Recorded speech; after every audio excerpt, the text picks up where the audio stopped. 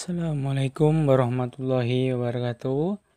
Apa kabar anak-anak semuanya? Semoga dalam keadaan sehat semuanya.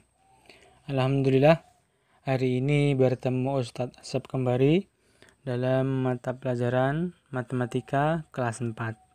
Hari ini kita akan belajar tentang taksiran ya, atau pembulatan taksir, menaksir, atau mengira-ngira. Apa itu taksiran? Nah, taksiran dibagi menjadi tiga. Yang pertama, taksiran atas. Yang kedua, taksiran bawah. Dan yang ketiga, taksiran terbaik. Oke, apa itu taksiran atas? Mari kita simak sama-sama.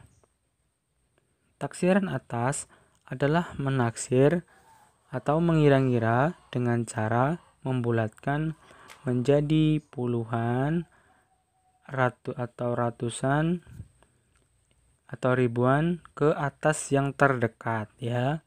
Jadi membulatkannya ke atas ya ditambahkan ke atas.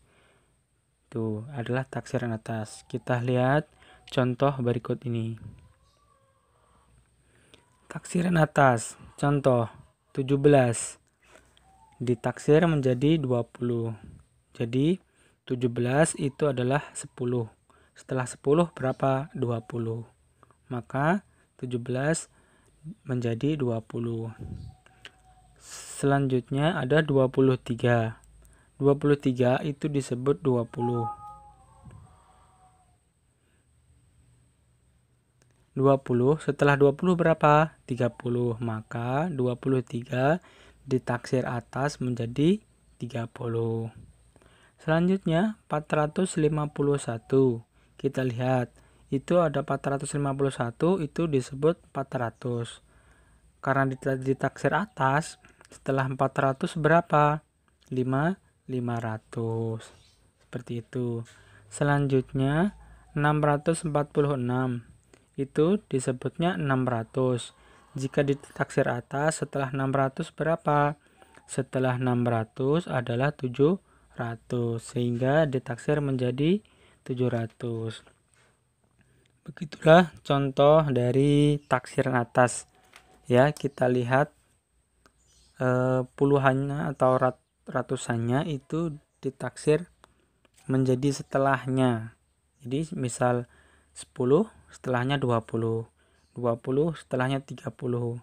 40 ke atasnya 50. 60 ke atasnya 70. Begitu juga dengan ratusan. 400 atasnya 500 500 atasnya 600 seperti itu. Taksiran atas.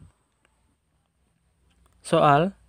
Silakan kerjakan soal berikut di buku matematika kalian. 15 45 751 446 silakan taksir menjadi taksiran atas ya Selanjutnya, taksiran bawah. Taksiran bawah adalah menaksir mengira-ngira dengan cara membulatkan puluhan ratusan yang ke bawah atau tetap ya. Ke bawah atau tetap saja. Contoh taksiran bawah 17 itu adalah 10 ditaksir menjadi tetap 10. Jadi tetap meskipun angkanya berapapun itu tetap. 17 itu disebut 10 ditaksir menjadi 10. 23 disebut 20 ditaksir menjadi 20. 450 disebut 400 ditaksir tetap 400. 640 600 ditaksir menjadi tetap 600. Jadi taksiran bawah itu tetap mengikuti puluhannya atau ratusannya. Mengikuti puluhannya atau ratusan yang aslinya ya. Jadi tetap taksiran bawah itu tetap. Silakan kerjakan taksiran bawah di bawah ini.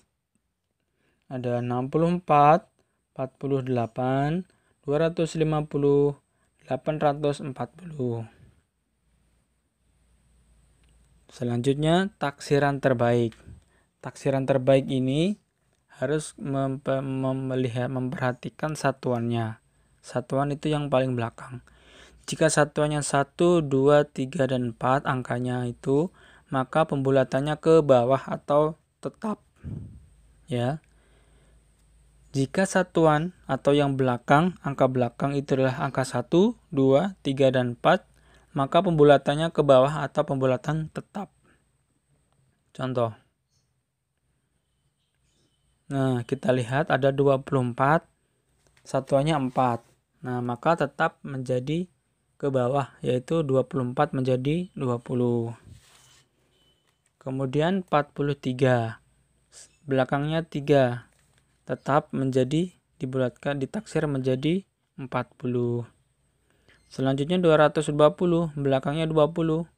Nah, ini tetap angka ditaksir menjadi 2 200 840 belakangnya 40 nah jadi awalnya 800 tetap ditaksir menjadi 800 jadi tidak naik ya jadi tetap ke bawah karena satuannya adalah angka 1, 2, 3 atau 4 taksiran terbaik jika satuannya 5 6 7, 8, dan 9 maka pembulatannya ke atas.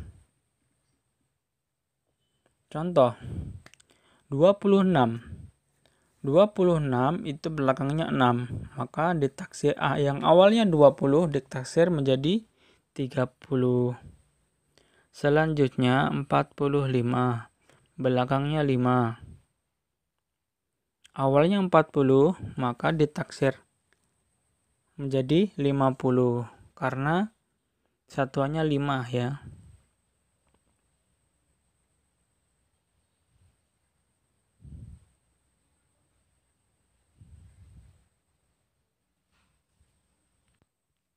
Nah, jadi melihat satuannya yang belakang ya. 26 menjadi 30 45 menjadi 50, 270 200 menjadi 300, 890 itu disebut 800 menjadi 900. Jadi karena satuannya 5, 6 sampai 9 itu ditaksir atau dibulatkan ke atas ya. Seperti itu. Baik anak-anak sudah paham semuanya? Nah, selanjutnya silakan kerjakan taksiran terbaik di bawah ini. Ingat, perhatikan satuannya. 78, 53, 380, dan 620. Baik anak-anak, semakin demikianlah pembelajaran matematika tentang taksiran. Semoga menyenangkan. Baik hal-hal yang belum dimengerti, silakan tanyakan langsung ke Ustadz. Terima kasih. Wassalamualaikum warahmatullahi wabarakatuh.